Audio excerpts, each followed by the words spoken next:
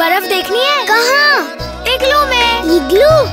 यहाँ? हाँ चल मेरे साथ। एक अनदेखा सा सपना एक बिन सोचा सा सपना देखे धीमे धीमे भोले नैना। कोई दिल को लेके जाए ऐसी दुनिया में आज ख्वाबों के कतरों का यू हौले से छू जाना जी।